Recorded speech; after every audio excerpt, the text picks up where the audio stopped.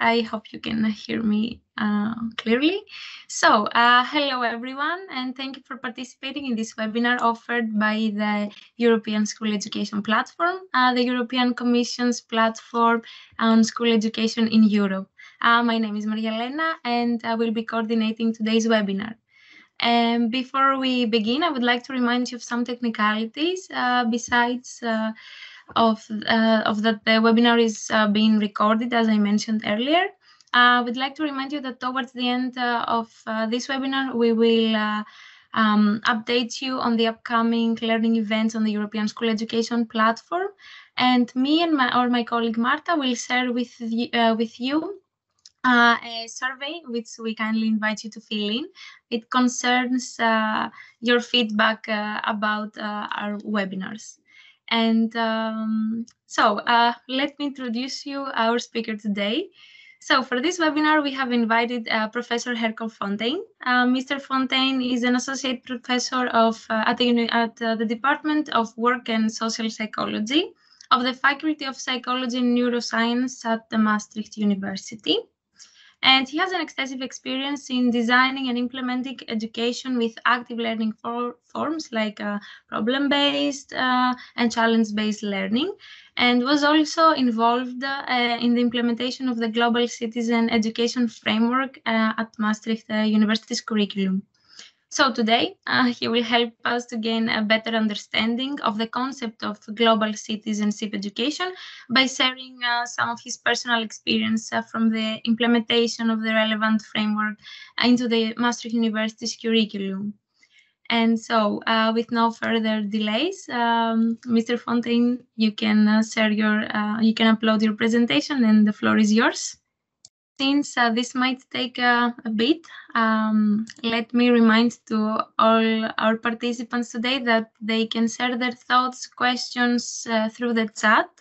Uh, we will uh, come back later towards the end of the webinar to reply to you or uh, mention, um, discuss a bit maybe about your thoughts and what you found interesting during, during this webinar. And um, Yes, uh, Mr. Fontaine, okay. we are waiting. Yes. great. Preparing great. the slides. I hope you can see them. I can see them clearly. I hope our participants can see them as well. Okay. Um, great. Yes. So okay. this is this is the story of uh, the, the, past couple of years where we're trying to implement um, aspects of global citizenship education in all the programs here at the university uh, in Maastricht in the Netherlands. Um, and I'm going to, um, yeah, present to you first uh, something about what global citizenship education is, and then something about what we did to make a start with the implementation, and I'll end with some of the key challenges and, and, and solutions that uh, we, we faced. Um, I won't be able to track the chat, but feel free to share whatever you have, uh, what's on your mind, because often what's happening in the chat is just as interesting as the things that are presented. Um, but um, I hope you'll bear with me. Um, so the future of education and often global citizenship education is very much indirectly involved in thinking what kind of world we want to leave for for the next generations and what kind of competences the people need our students will need in order to thrive in that world. So the, the future is always uh, on our minds. And at the moment the future of higher education uh, for instance if you look at unesco and all sorts of policy documents uh, people say higher education has three missions. It's education, it's research, and it's outreach. And, and the, the lenses through which we should be looking at higher education now, it's, well, education is about developing global citizens who can deal with the complexity of today's world. Research is about sharing knowledge and open science through transdisciplinary approaches, which means interdisciplinary, but also involving outside uh, stakeholders and then social engagement and ethical responsibility. And all these aspects come back uh, when we look at global citizenship education, but uh, that will become clearer later on, I think. For now, um, well, the future, this is an example of uh, Nicole, one of my colleagues, uh, who's a positive psychologist. And you think about the future? What kind of world do you want to live in? Um, the this is an, an exercise you can try at home. Um, take a moment to imagine that all goes well. Everyone contributed to make things work. We managed to deal with the climate crisis and social injustice. Form a concrete image of this world. See yourself in it. Look around. What does that world look like now? Take notice of all the positive things you see. Imagine that. And when you do that, afterwards, find someone else and share your best possible worlds with each other. What are the similarities? What would you still want to add to your best possible world when you hear the other speak? This is an interesting exercise because you can do this with people with very opposing views of what the world is now. But when they think of their ideal world, often there are lots of similarities and way to empathize with each other. So a way to to bridge uh, differences. Um, but the question now is, if you think about that world, what is the role of education in creating such a world? You know, what do you have to let go and give up to get there? Again, this is about global citizenship education to, to a large extent, because um, for one thing, what is global citizenship? What is a global citizen? Um, this is one definition. A global citizen is a person developing an identity that is rooted in a particular community, but with a sense of connection and responsibility for people elsewhere. And usually not just the people, also the world. So it's it's not some legally defined membership of a political community, but more a, state of belonging. And global citizenship, uh, this is a widely quoted definition, also refers to the sense of belonging to a broader human community, sharing a destiny on this planet, which is in addition to other senses of belonging. Emphasizes political, economic, social, and cultural interdependence and interconnectedness between the local, the national, the regional, and the global, and applies a common global responsibility to build a more just, equal, sustainable, and peaceful world. So these, these are very lofty goals, and there you already see one of the, the, the challenges that once you if you're a teacher and you're thinking about these lofty goals how do you make this a reality in your day-to-day -day, uh, teaching activities um, but global citizenship education then uh, is often linked to uh, knowledge of global issues and universal values, values such as justice, equality, dignity, respect. Uh, cognitive skills, critical thinking, systems thinking, creative thinking, perspective taking. Non-cognitive skills, social skills, uh, social emotional skills, think about empathy, uh, listening, communicative, interpersonal skills, conflict resolution, uh, being able to um, interact with people with very different backgrounds, and then behavioral capacities to act collaborative and responsibly and to strive for the collective good. This is also related to change agency, the, the ability to make change happen. So these are, are elements of global citizenship education. Um, but unfortunately, even with these elements, you can have very different approaches to global citizenship. For instance, there's a, a neoliberal human capital approach and then you focus on these skills and competences because they're important for people who have to thrive in the future labor market. Um, so it's about employability and, and global competitiveness. Um, there's the liberal approach, more say the UNESCO approach, focusing on intercultural understanding and respect and social justice and empathy. And then there are the critical and advocacy approaches, uh, focusing on the fact that the world as it is now is not um, the way it should be. So focusing on transformation, um, making um, certain goals a reality. So for instance, linking education to injustice or poverty. And then there are many other approaches. There are neoconservative approaches. There are Ignatian approaches dating back to medieval Catholic education. There are Buddhist approaches. Um, in Japan, for instance, uh, Soka Gakkai has a, uh, Ikeda has, has a pedagogy that is very much about global citizenship. Um, eco-pedagogical approaches. So the problem with global citizenship education is it very much depends on who you're talking to um, in order to find out what, what it really means in that particular place at that particular time. So this is a slide, well, you can have a look at it later when you look back at the recording, but there are many um, differences between the underlying theories, the perspective on globalization. So at the moment, as you may know, there are strong deglobalizing tendencies in, in many parts of the world. Um, there are critical uh, voices that are also anti-globalization, but they're, they're pro international solidarity. So they're different from the deglobalizers. And then you have, of course, the, the ultra globalizers. So uh, linking to different conceptions of global citizenship, types of education, what kind of knowledge should be addressed and what kind of skills, etc. So these differences don't make it easier if your goal is, well, let's introduce global citizenship education uh, in my school or university. Um, and then you see that some people want to introduce this change softly or more radically. And, and, softly means that you infuse or mainstream elements of global citizenship education in your curriculum, the ones that fit best. And so small steps, iterative. You focus a lot on teacher training, uh, give teachers a toolbox with teaching and learning activities that they could use. Um, often focusing on a whole institution approach so that it's not only about the curriculum, but it is the entire institution that should send out the message that uh, global citizenship is valued. Uh, so also focusing on the co-curriculum or extracurricular activities um, and promoting interdisciplinary collaboration.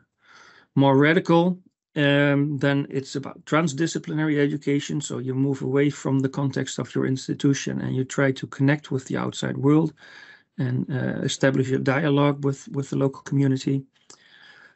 Social emotional learning and effective pedagogies are, um, um, yeah, be, become more prominent, um, which in our part of the world is challenging if you're in higher education because the focus is has always been very much about cognitive learning and not so much about, uh, say, personal development, attitude, values, and virtues.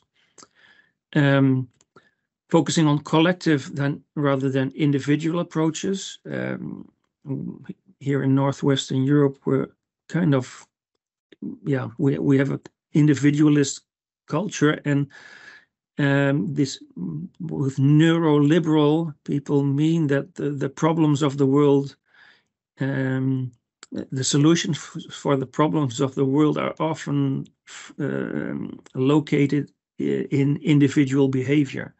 So making um, individual students entrepreneurial or um, more resilient towards certain uh, developments or uh, focusing on behavior change, for instance, uh, to, to address some of these issues, rather than, for instance, uh, uh focusing on, on systems change.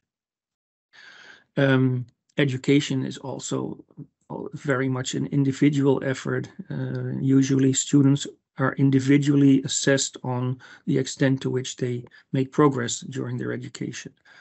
Uh, and in this uh, approach, of course, the more historical analysis and power relations are, are um, very much at the heart of education because uh, the idea is that that students are made aware of, yeah, um, inequalities and um, states of affairs that that need to be addressed in order to uh, promote a, a better future.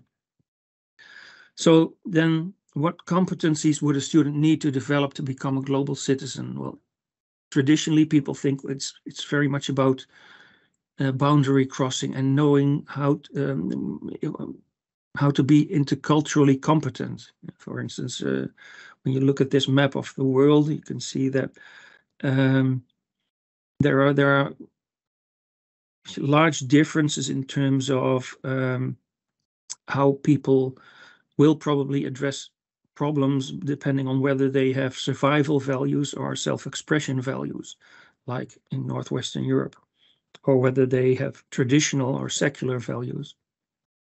And the no, awareness of these differences and this distance is of course something that you can start learning in school, but it's a lifelong project basically. Um, but um, intercultural competence is only one part of, of what determines whether or not you feel like a global citizen. At the moment, the difference between nations are not that great. We're living in the age of, of super diversity. Who we are, what we think is important, is not only dependent on what country we were born in.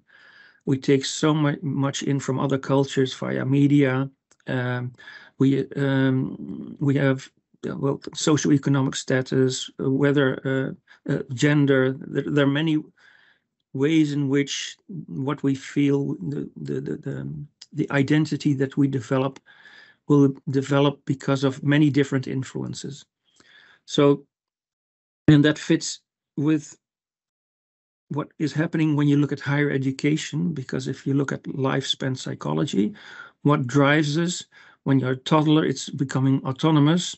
When you're in midlife, it's about generativity, it's about what will I leave for further gen future generations.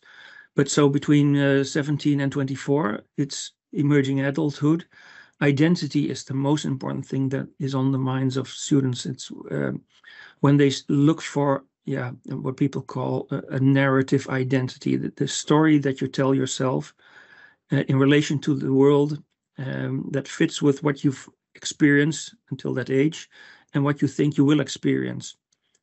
And the idea is that that identity will provide you with with uh, a sense of unity with with purpose and meaning and will be a very important driver of um, who you will become your motivation.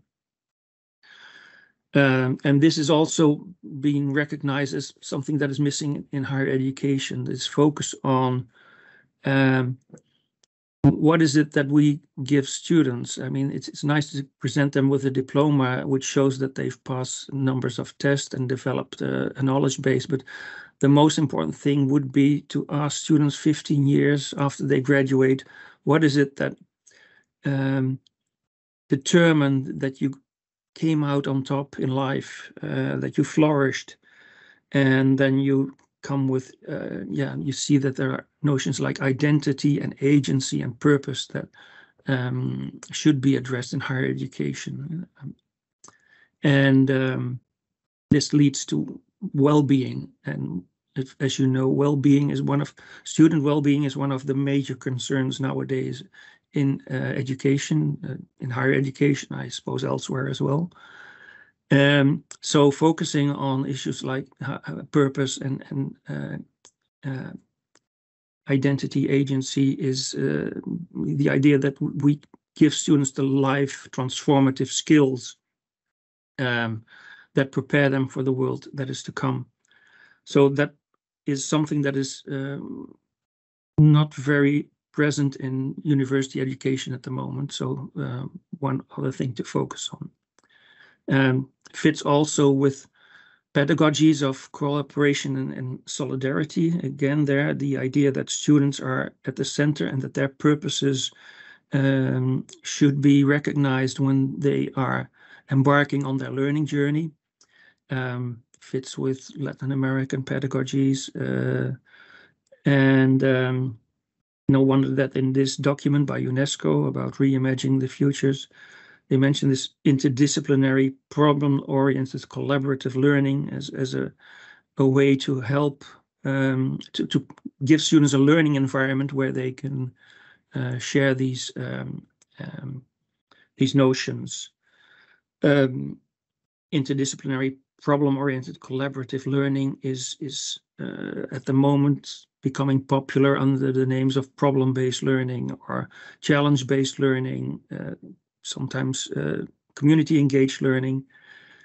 Um, the the yeah, collaborative, problem-oriented, interdisciplinary um, um, variations on on the traditional classroom are uh, are very motivating and they allow students to gather skills that will become very important in in the in the world of the future.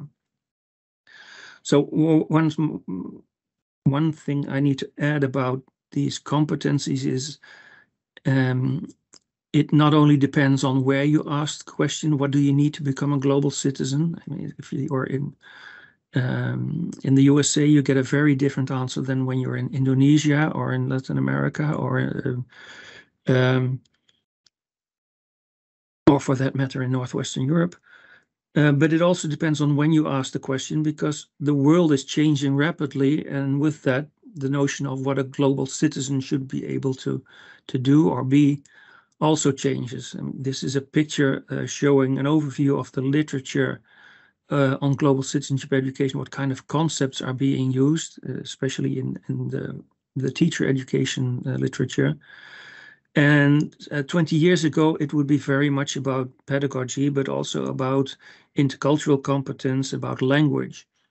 Nowadays, what you see is what is colored in blue here.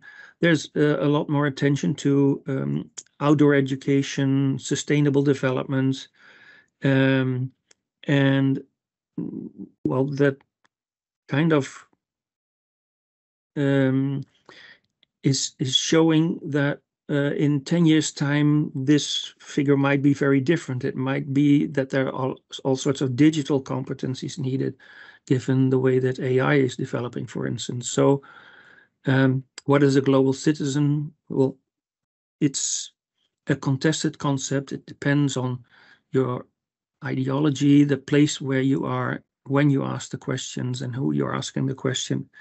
And then probably also in uh, educational phase you're asking. For instance, uh, this is a picture from uh, UNESCO Forum of Education on Sustainable Development and Global Citizenship. They looked at um, what terms are used um, in pre-primary education, primary education, lower secondary education, and upper secondary education that link to education for sustainable development and global citizenship education. And you see that over the course of uh, a young person's life, emphasis on cognitive learning is increasing, on social and emotional learning is decreasing, and on behavioral learning it st remains steady at a, a low level. But then again, it depends on where in the world you're looking at education. Uh, for instance, in Sweden and most North Northwest European countries, uh, it's mostly cognitive learning. In Kenya, it's mostly social emotional learning. Um, in Mexico, this is what you, I think, is kind of representative of, of the average. But in Japan, there is a lot of behavioral learning. And again, if you want to implement global citizenship education, you have to contextualize it. You have to realize that certain approaches will work that will not work in other places of the world. And um, yeah, that's one of the things that make it difficult to start. And, and um, when you ask people to start thinking about education for sustainable development or global citizenship education, usually they start with competency frameworks or, or documents that help them make a start. Like, for instance, couple of months ago, signed the Recommendation on Education for Peace and Human Rights, International Understanding, Cooperation, Fundamental Freedoms, Global Citizenship, and Sustainable Development. There you get 14 guidelines on the things that we should focus on in education, like human rights, uh, advancing gender equality, um, promoting dialogue between cultures and generations, etc. So the, these are some guidelines that will help you consider what you might be changing in your education. Uh, and with it, there are learning objectives. The, we, want students to develop citizenship skills, anticipatory skills, self-awareness, analytical and critical thinking, etc. That's um, one really influential text.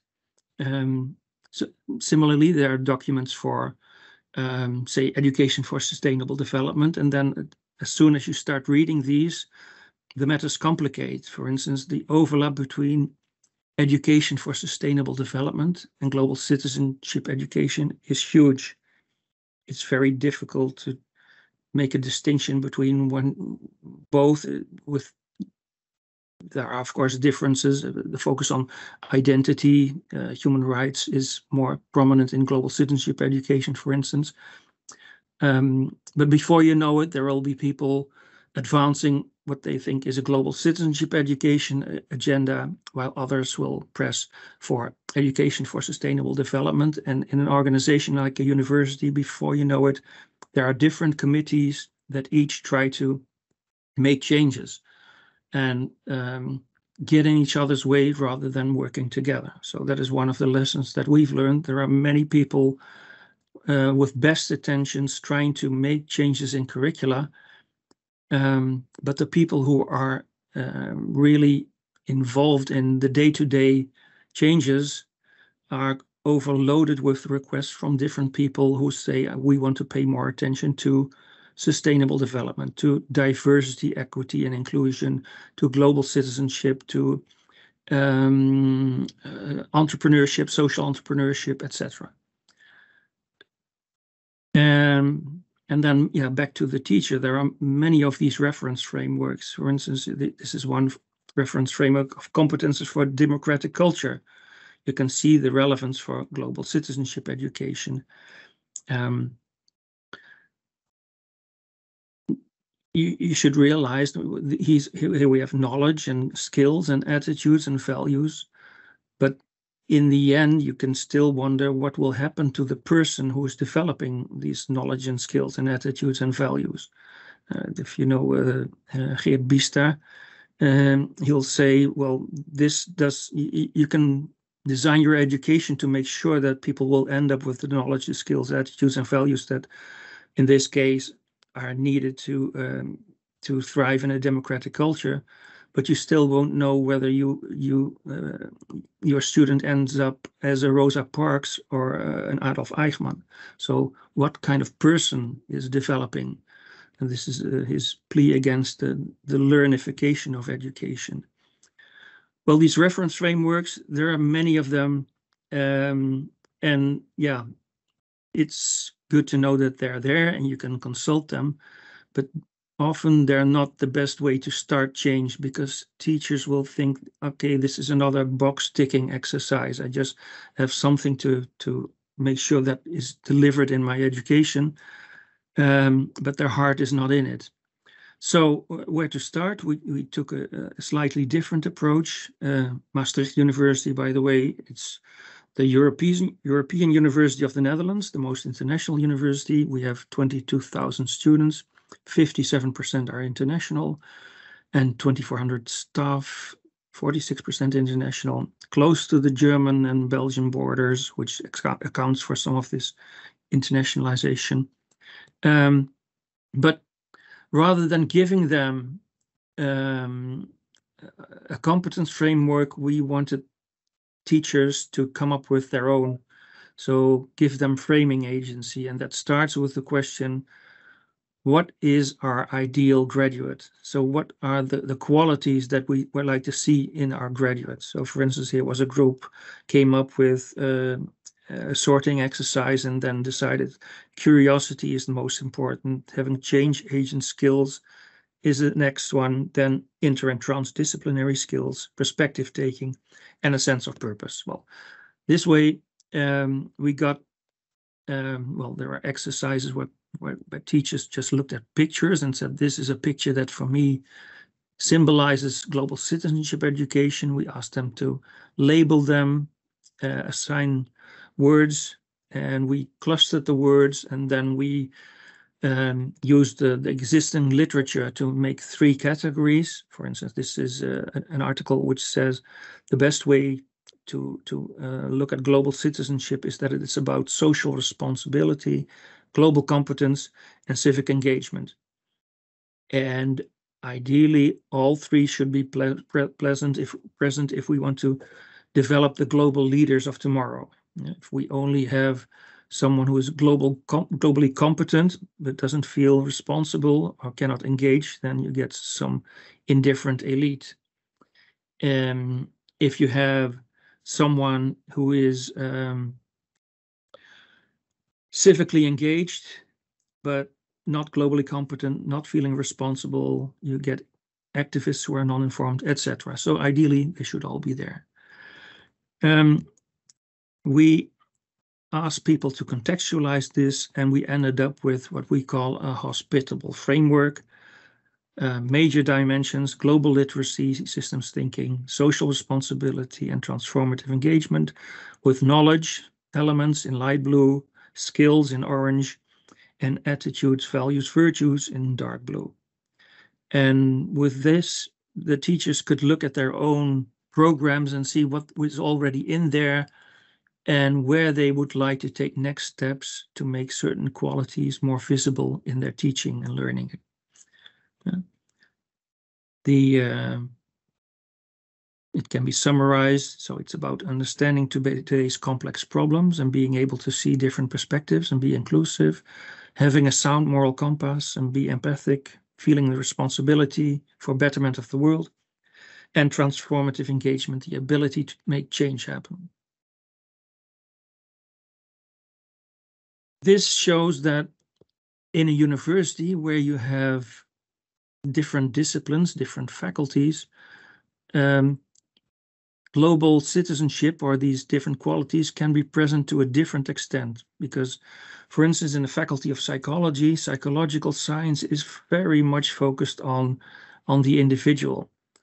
Um, it's it's by its nature uh, very different from for instance uh, uh, the social science where um, we have studies like global global studies european studies um, there are studies like international business, um, where this global dimensions is is very much part and parcel of of the curriculum already.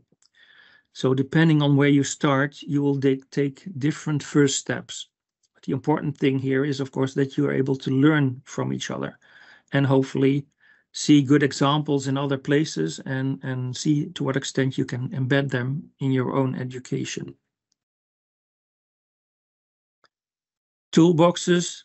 Once teachers know where to start, they will um, they'll have plenty of places to look for good examples. I mean, um, what Gibson already once said is uh, uh, the future is already out there, is just not very evenly distributed. So if you want to look for good examples of how things work, look around um, and and yeah, you'll you'll find this. I mean, there are loads of books that can help you find ideas on how to um, make changes that align with wherever you're you're going. Um, that's one way to look at it, and the other way is, of course, to look what is already happening within your institution, because especially if it's large, most people will only know what's happening in their own program and have very uh, uh, dim views of what's happening elsewhere. So sharing good ideas is also something that we do, which is why there's a website where all this material is, is being shared. You'll see the link at the end. Okay, key challenges.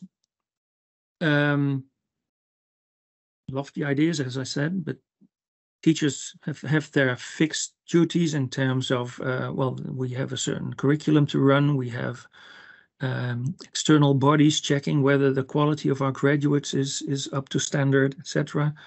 What will happen if you ask them to embed this in their education? So the first worry is how do we build global citizenship education into what is already there? We have intended learning outcomes and how do we balance the new ones with the old ones? Should we leave something out? Ideally not. So how, how can we make these changes? Uh, how can we foster interdisciplinary perspectives? How can we create more real world links? How can we address the local in the global? How can we make sure that these collective goals rather than individual goals are prioritized? And how do we assess? Um, so when we go along, we see loads of different solutions to these questions. I'll mention I'll give a few example examples. Um, you can read them in detail later, but this is an example of a, a design thinking project where during a semester a group of students work together on a problem offered by an external stakeholder, but teaching is done by a team of teachers from different programs, so it is interdisciplinary. When you get a lecture, the lecture is given by more than one teacher from different faculties who give different perspectives on the program. And um,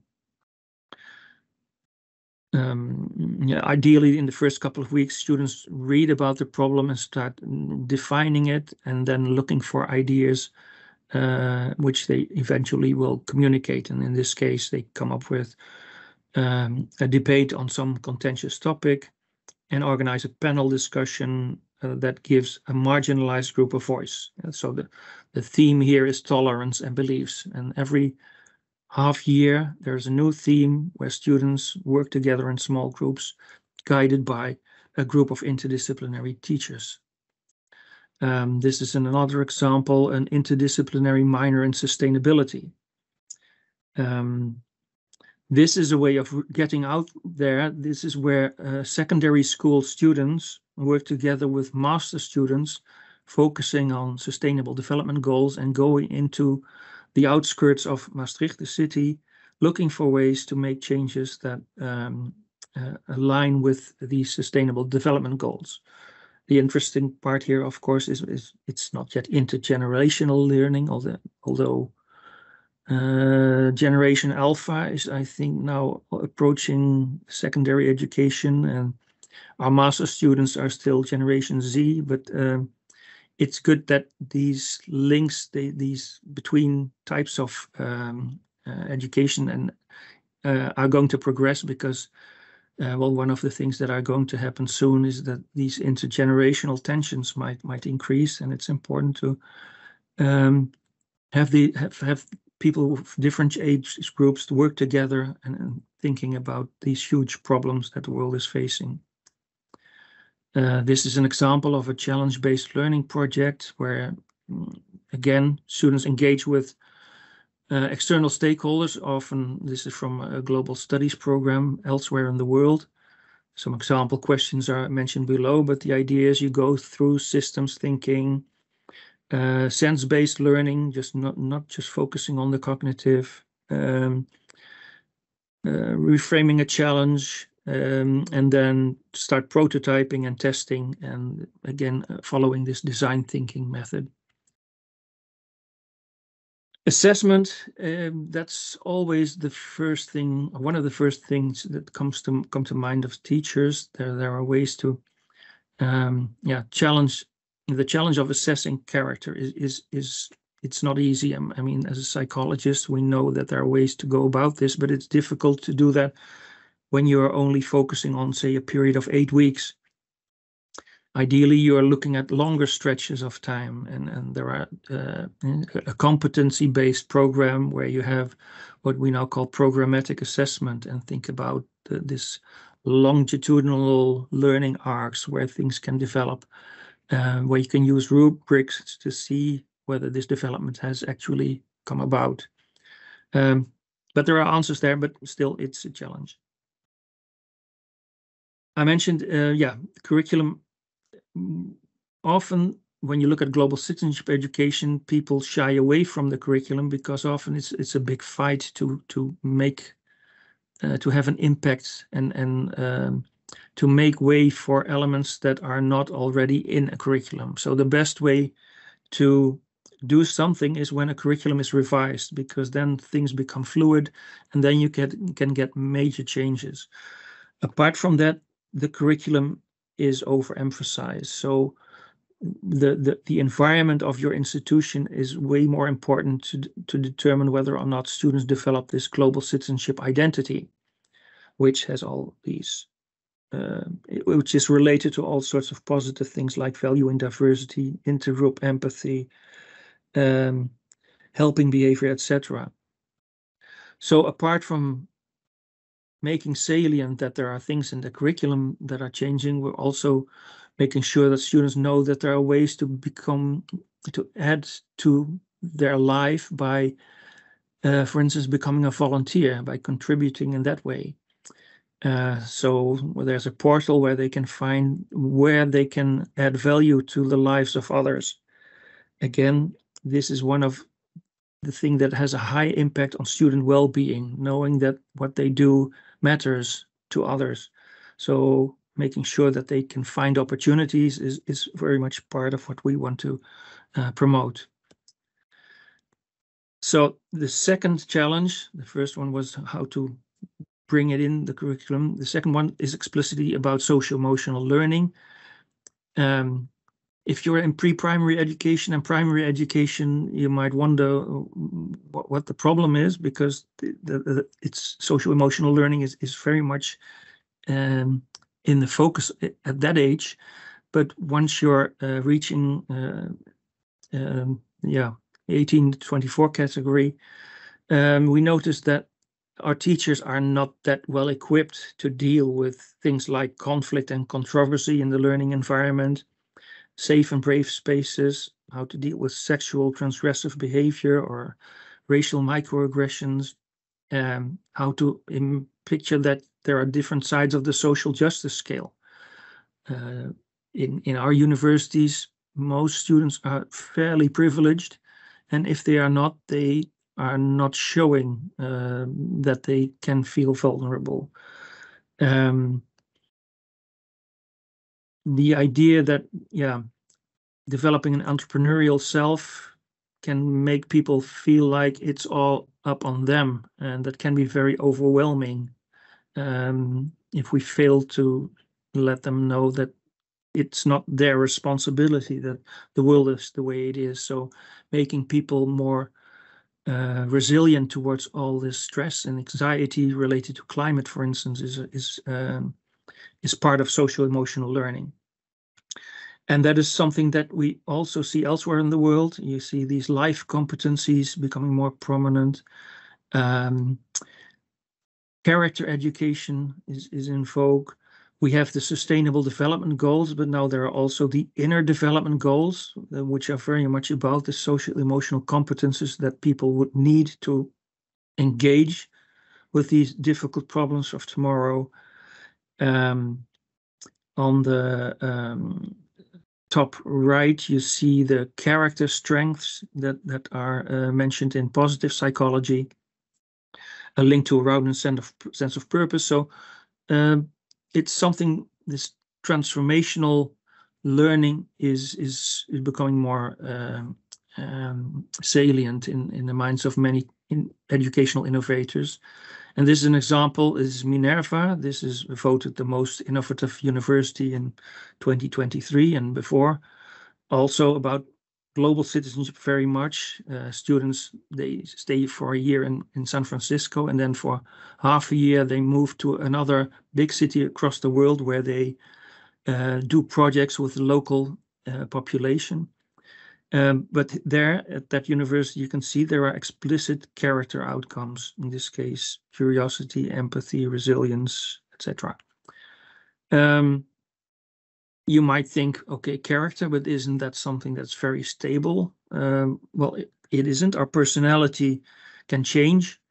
Uh, this is an example where it's happening through digital coaching interventions, but, but you know, whether you're introvert or extrovert, uh, emotionally stable or more neurotic, these are things that can be influenced by the environment. Um, we can pretend that it doesn't, but there are, I mean, look at how people engage with social media. They can changed in many ways. And when we mention digital coaching, I should just mention this. Uh, we can't not mention AI nowadays, but the way that we will engage with digital tools will will change a lot. And um, the question is, what are these essential human activities for which um, yeah, that will determine whether or not, or not we'll, we'll have a job in, in, in the future. And people talk about rehumanizing the world of work. That the, the questions like leadership, uh, creativity, judgment, um, th these are the, the things for which we will um, be rewarded later on in terms of not being replaced by AI. Um, and in addition, there, there are what people call fusion skills, which is about AI literacy, knowing exactly what how to deal with this uh, new machine intelligence. But um, for now, it's it's most important to realize that the jobs of the future are expected to be very much relying on our ability to solve problems and on our interpersonal skills.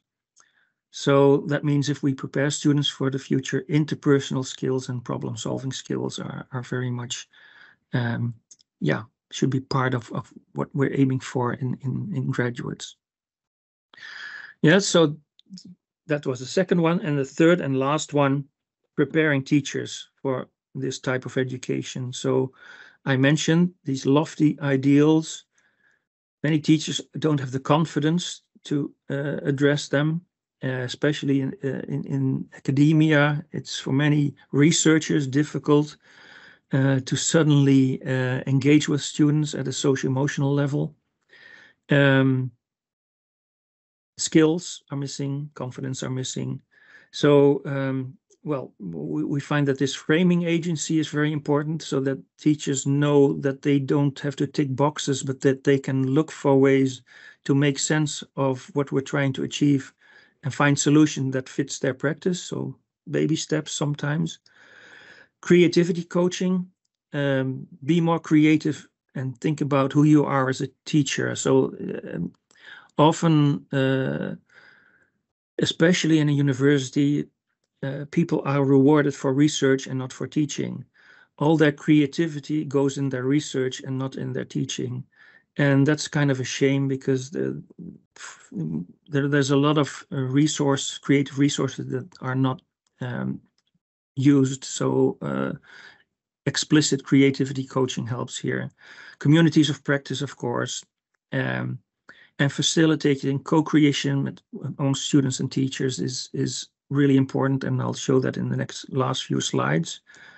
Um, but self-reflection uh, again is is key. Who am I as an educator? Why do I teach? For what do I teach? Uh, you see the gadfly, by the way. That's mm, Aristotle's picture of a teacher is either a, a midwife, a gadfly, or an electric eel. So someone who's kind of waking up the student and pointing to what is outside, what they should pay attention to. Um, and um, well, again, this idea of character strengths and virtues, they not only matter for students, but they matter for teachers as well. So these exercises uh, would fit teacher training just as well.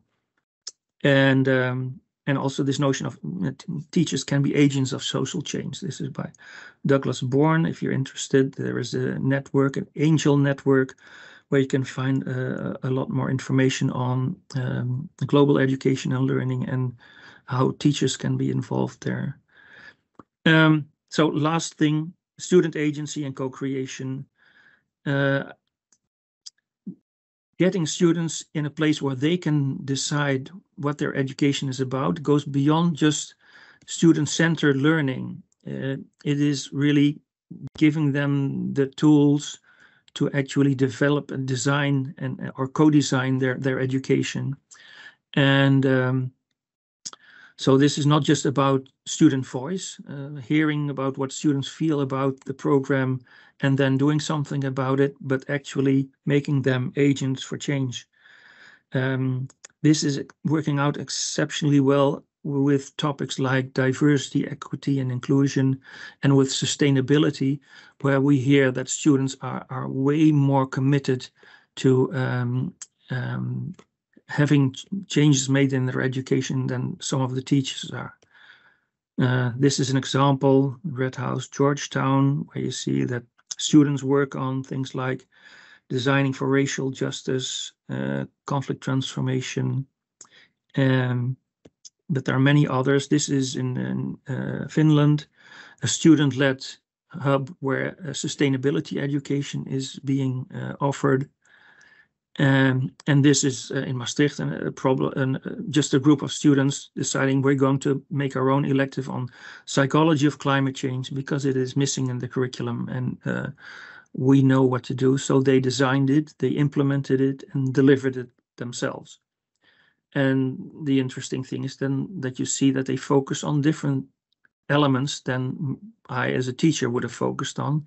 So in that respect, it uh, it was a, a great success. All right, so we started with the future. This is a, a quote I, I, picked up on one of uh, uh, one earlier presentation.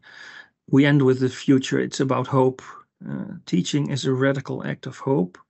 It's an assertion of faith in a better future in an increasingly uncertain and fraught present, a commitment to that future, even if we can't clearly discern its shape.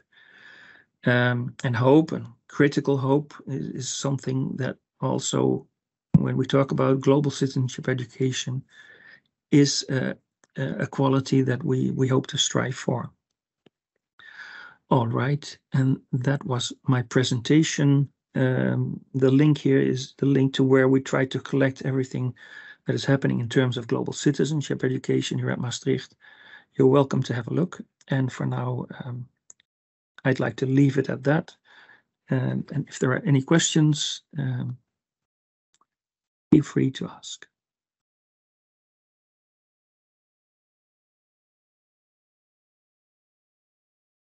Thank you very much, Herco, for uh, this uh, interesting webinar. Uh, please feel free uh, to share any questions, any thoughts.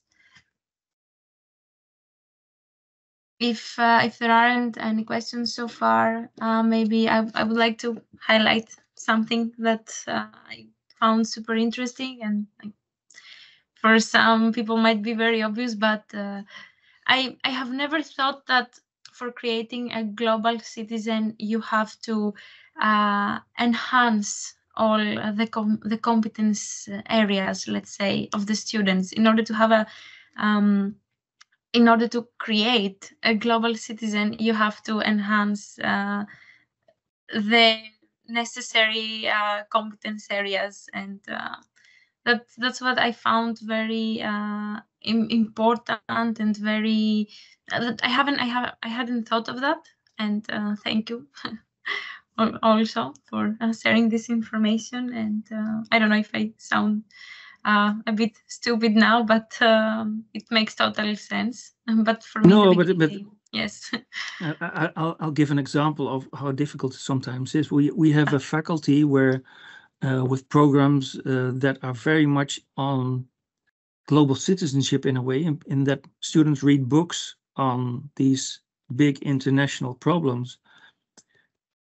And I, I noticed that when I talk to the, the teachers who are academics, th they feel uh, education is very much about what's happening between my head and the book that is in front of me and getting that inside the head. And that's where the responsibility of the teacher ends. Um, for students, that's not exactly how it's experienced. So when you ask students, they want to have meaningful experiences outside the walls of, of the university and, and to actually do something with all this knowledge that suggests that the world is not the way it should be. And and and that part, this this engagement that calls for something more than just critical thinking, that that calls for uh, uh, an attitude uh, and and other types of skills and and the ability to engage with other people and so that's i think what what is for some people at least at university level is really important i can imagine that in primary education and secondary education there, there are lots of unesco network uh, unesco network schools will will have other issues to deal with so but this was just a story of uh, academia and um, for better or for worse, it's what you have to deal with. You have to make it fit your reality and not rely on recipes.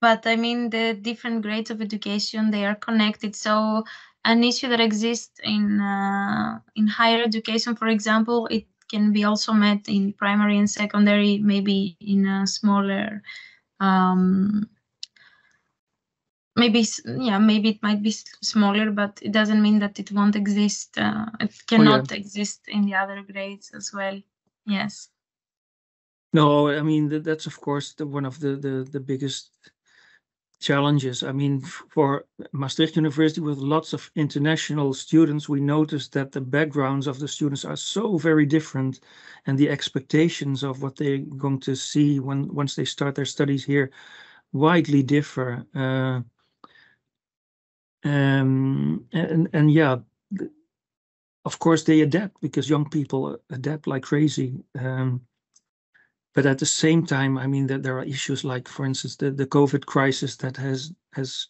really hit uh, um, well-being, but also things like like literacy. I mean, the, the, the PISA outcomes where you show that reading uh, competence is is is dropping. Uh, I don't know what I mean. If if you're a positive uh, person, you might think, okay, but there's something that is replacing reading, and people no longer need uh, language, but they have other means to to communicate. Uh, who knows? But for now, it worries us a lot because the the text that we usually prescribe or, or suggest to students uh, suddenly have become really impenetrable and. Um, yeah, that's um, fortunately they have ChatGPT to help them, but um, but then again, what's what's being replaced by ChatGPT? Uh, we'll have to see.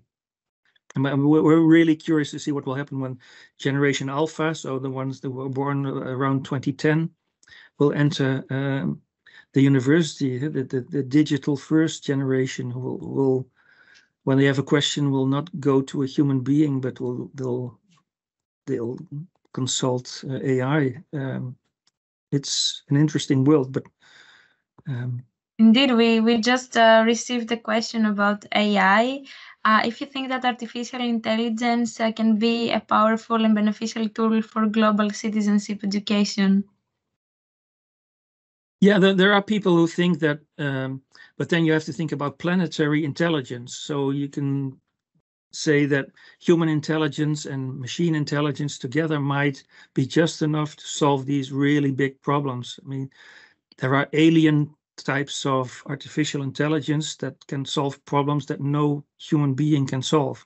And there's this program called AlphaFold that that has learned to solve problems in in um, uh, um, um, how to to structure molecules, I think, of proteins, but things that go beyond our capacity. So, in an ideal world, you might hope that together there will be enough planetary intelligence to really avert all these disasters that um, uh, that people are uh, are, are suggesting that we were heading towards. But whether that happens, I mean, the downside, AI will will um, enlarge inequality probably. So um, it, it might be that these great solutions are not for everyone, and then um, in terms of global citizenship, we're we're, we're failing miserably because of um, the digital divide.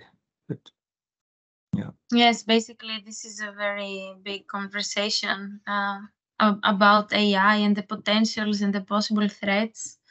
Yeah, and uh, maybe yeah. we could tackle it in the future in another webinar. Who knows? That, yeah, you should do that in another webinar.